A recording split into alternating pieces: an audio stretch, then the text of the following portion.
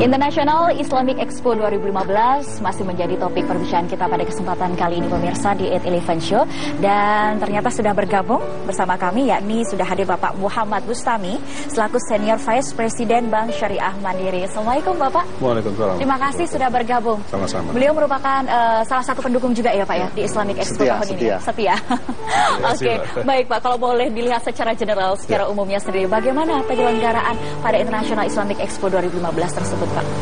Uh, bagi kami Bank Syariah Mandiri, ajang International Islamic Expo ini sangat uh, begitu penting ya, karena ini bisa dikatakan salah satu ajang dunia yang terlengkap yang terkait dengan uh, kegiatan umroh, haji dan wisata Muslim. Di melalui ajang International Islamic Expo ini menjadi semacam wadah bertemunya sellers dan buyers terkait terkait dengan kegiatan umroh haji dan uh, wisata muslim tersebut. Kemudian di sisi lain uh, kami pandang penting juga karena kami salah satu misi Bank Syariah Mandiri kita mencoba untuk menjadi uh, mewujudkan menjadi bank haji dan umroh. Nah hal itu sudah uh, sudah kita mulai beberapa waktu yang lalu. Salah satu indikasinya adalah uh, kami Bank Syariah Mandiri yang sementara ini asetnya terbesar di Bank Syariah di Indonesia juga uh, merupakan apa namanya bank syariah tempat penyetoran terbesar uh, haji reguler di di uh, Indonesia tidak hanya di bank syariah maupun di bank konven. Apabila kemudian pangsa pasar tersebut ditambah dengan Bank Mandiri Group uh, BSM dan Bank uh, Bank Mandiri total pangsa pasar uh, kami sudah hampir 68 persen. Melalui wajah ajang International Islamic Expo ini kami terus berusaha sedapat mungkin memperkenalkan, memperluas pengenalan Bank Syariah Mandiri sebagai bank syariah di Indonesia dan juga membuka mencari kesempatan untuk memperbesar pangsa pasar haji, umroh dan wisata muslim. Wisata muslim baik. Oke, okay. dan untuk Pak Anggita sendiri ini boleh dikatakan adalah pameran haji, umroh, wisata muslim terlengkap di Indonesia. Ini ada sebuah agenda tahunan seperti itu. Betul. Ya.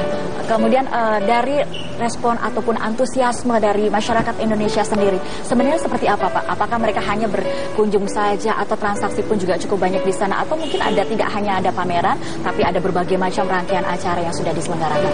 Jadi uh, umroh itu solusi untuk panjangnya waktu tunggu haji. Ya. Maka uh, minat apa namanya uh, warga muslim kita ini semakin lama semakin meningkat. Tahun lalu satu juta lebih orang berangkat ke umroh dalam waktu 10 bulan saja. Dan itu akan terus meningkat jumlahnya.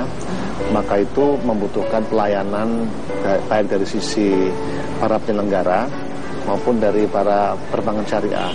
Nah sebelum-sebelumnya sampai saat ini itu boleh dilayani oleh bank konven dan bank syariah.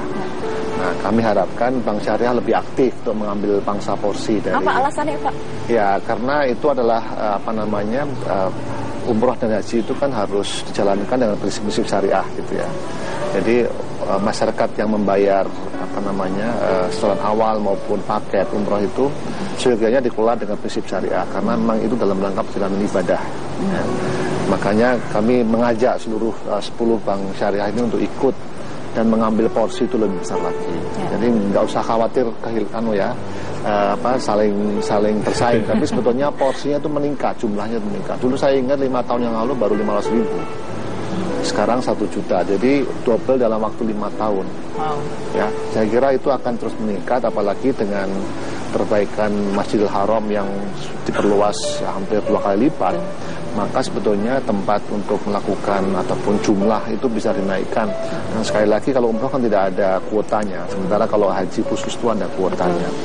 Nah, jadi itu target kami untuk memberikan edukasi sekaligus dan juga menarik minat masyarakat muslim untuk berangkat umroh dan sekaligus mereka juga menawarkan wisata muslim. Mereka bisa berkunjung ke Turki setelah umroh gitu mereka bisa berkunjung ke Uzbekistan kali gitu ya mau berkunjung ke Spanyol yang atau berkunjung ke Cina yang merupakan destinasi dari turis muslim kita. Walaupun even uh, dolar juga sedang naik turun segala macam, masih memiliki sebuah respon positif Pak? Uh, seperti kata Pak Bustami ataupun lain-lain, term ini termasuk bisnis yang tidak terkena krisis karena ini adalah perjalanan ibadah.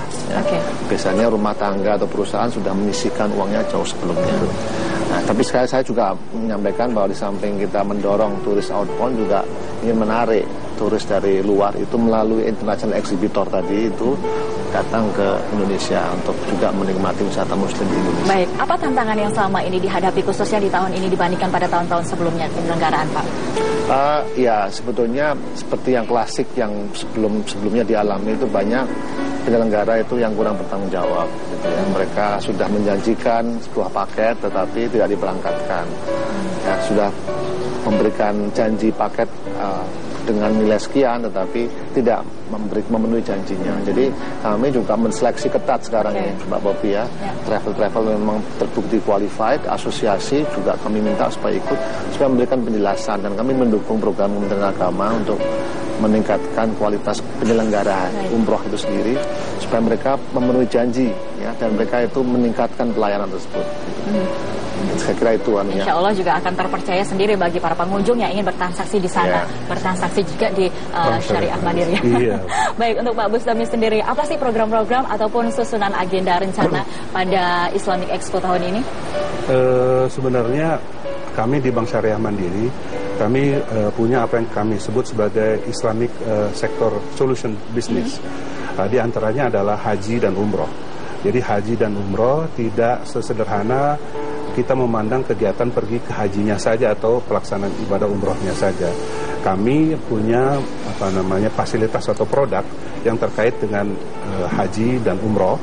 Uh, terus kemudian di samping itu juga kami memberikan fasilitas pembiayaan kepada uh, pengelola penyelenggara ibadah haji maupun umroh terkait dengan ke keperluan mereka untuk pembiayaan misalnya untuk modal kerja, investasi, kemudian booking seat, ticketing, uh, dan lain sebagainya.